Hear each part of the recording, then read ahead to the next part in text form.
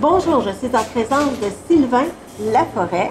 Allô Nancy. Ça va bien? Oui, toi? Oui.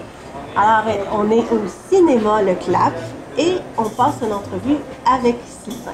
Alors, Sylvain, on va parler un peu de ton enfance. Oui. D'ailleurs, euh, avant tout, j'aimerais parler, euh, tu es premièrement acteur. Oui. Oui. Et pourquoi c'est important d'être acteur? Vraiment. Ah oui, moi, le- Alors, être acteur, de- là, c'est. C'est toute ma vie. là, tu sais, J'étudie vraiment. tu sais, Je fais des projets bénévoles aussi pour pouvoir tu sais, comme monter dans, dans ce, Ce milieu-là. ce milieu-là qui est quand même assez, Assez difficile à ouais. percer. Mhm. Mais euh, avec la persévérance, on y arrive toujours. Oui, c'est vrai.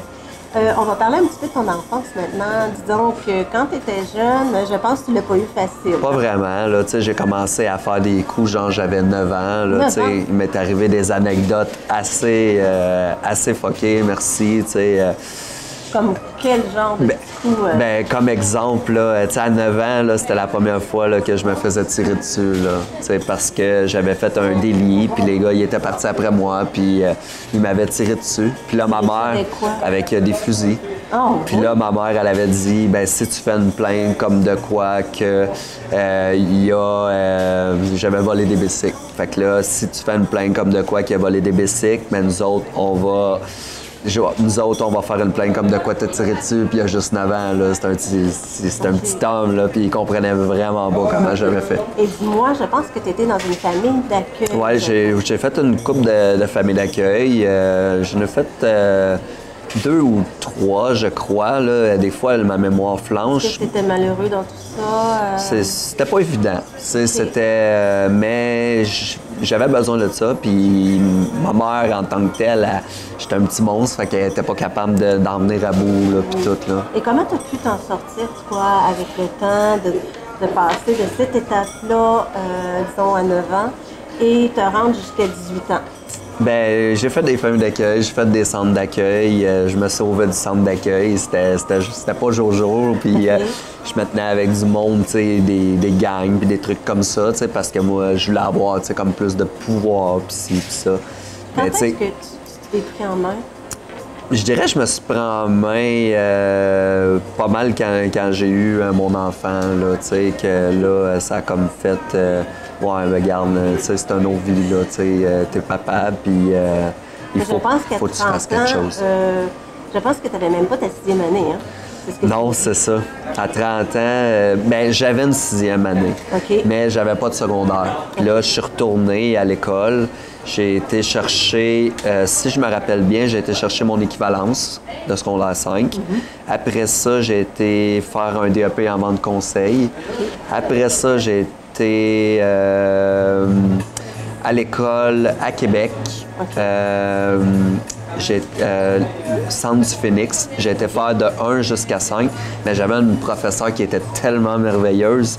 Vu que moi, j'avais un déficit d'attention en plus, que que j'ai pas mentionné plus tôt, ça l'a pas aidé. Puis, euh, mais elle, cette professeure-là, elle a été beaucoup utile parce qu'elle mettait ça sous forme d'histoire. Fait que, tu sais, en pas grand temps, j'ai pu faire mon secondaire 1 jusqu'à 5.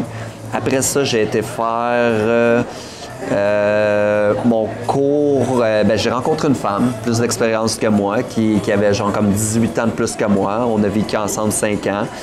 Euh, puis j'ai été faire mon cours en commercialisation de la mode au Collège la Salle pour par la suite qu'elle me paie mon cours de styliste qui coûtait une valeur de 6 000 Tu sais, Je remercie le bon Dieu pour ça. Et elle aussi, d'ailleurs? Oui, elle, elle est tellement euh, heureuse aussi de voir euh, mon cheminement, de voir que je suis parti tu sais, d'un délinquant fini d'un sens à ce que je suis aujourd'hui.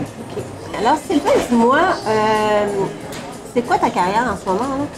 Ben là, ma carrière pour l'instant, c'est de faire des projets bénévoles dans le cinéma. Euh, puis euh, la figuration. Là, présentement, je suis sur un tournage qui s'appelle Barskin. Ça se passe dans les années 1680.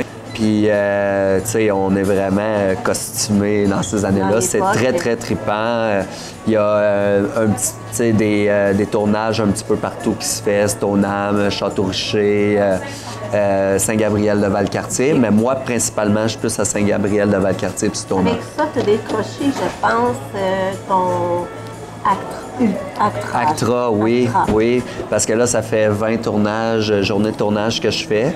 Puis là, après 15 journées de tournage, on devient Actra. OK. Fait que euh, meilleur salaire, des meilleures Bien conditions, sûr. des sandwich chauds et tout et tout. Et euh, c'est ça, j'en suis très, très fier.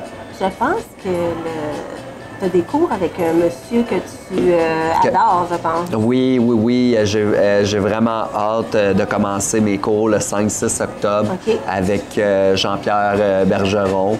Ça va être une belle expérience. Puis, par la chance, dans le passé, j'ai eu la chance de faire avec Lucidius Studio un, euh, un court métrage et euh, la bonne comédienne Myriam Kazibi, que ça a été euh, vraiment euh, une très belle expérience.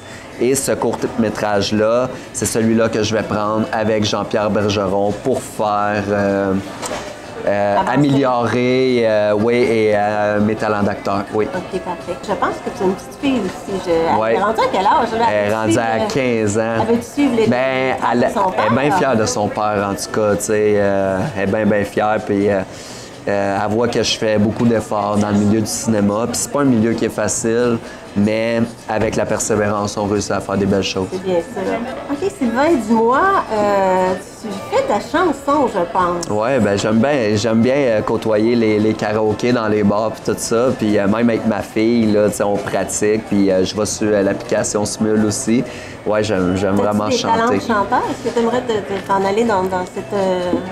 Ben, pas vraiment, non. Moi, c'est vraiment plus euh, pour euh, comme m'amuser. là. C'est vraiment un loisir, chanter pour euh, divertir. Puis en même temps, ça fait sortir les, les mauvaises émotions quand on en a. Tu es membre aussi de... Tu dit que tu étais membre de... De récemment Kino. de Kino, ouais. J'ai gagné un abonnement, j'ai été au Festival du film, puis je connaissais un petit peu la gang. J'étais déjà venu au clap voir la gang.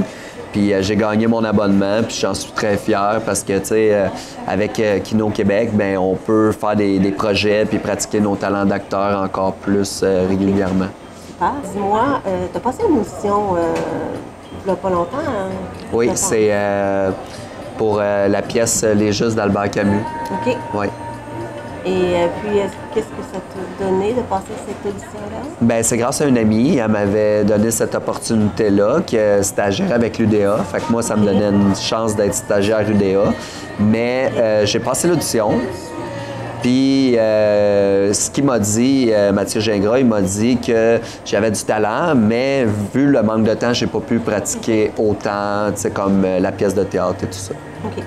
Dis-moi, qu'est-ce que tu projettes, toi, dans ton futur d'acteur, qu'on peut dire? Ben moi, c'est sûr que j'aimerais euh, devenir un grand acteur puis faire des films puis euh, Toi, comment? Euh, Bruce Willis? euh, non, style plus Richard Gere. Moi, je suis comme euh, le côté gentleman un peu avec les femmes puis tout ça, ouais. Romantique. Ouais, ouais. Puis en plus que j'ai une certaine ressemblance avec lui, les yeux et certains traits de mon visage, fait que c'est sûr que ça que ça. Non, non, la barbe, non, non, on, s'entend que la barbe faudrait qu'elle saute. Exactement.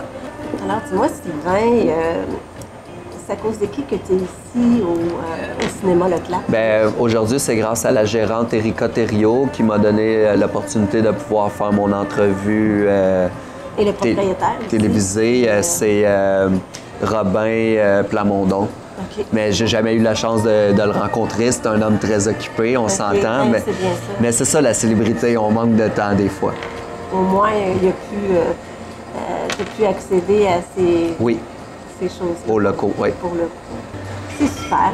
Euh, bon, alors dis-moi, euh, tes rêves. Tes rêves. Mais mes rêves, euh, je me vois, tu sais, comme dans cinq ans, là, tu sais, comme côtoyer. euh, J'aimerais bien faire une coupe de tapis rouge puis côtoyer des, des vedettes américaines. OK, est-ce que tu vas me prendre pour t'interviewer sur le tapis rouge? C'est certain, c'est certain.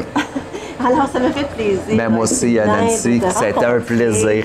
Euh, c'est merveilleux. Je te souhaite bonne chance et, Mais- et, euh, à la prochaine. Mais merci.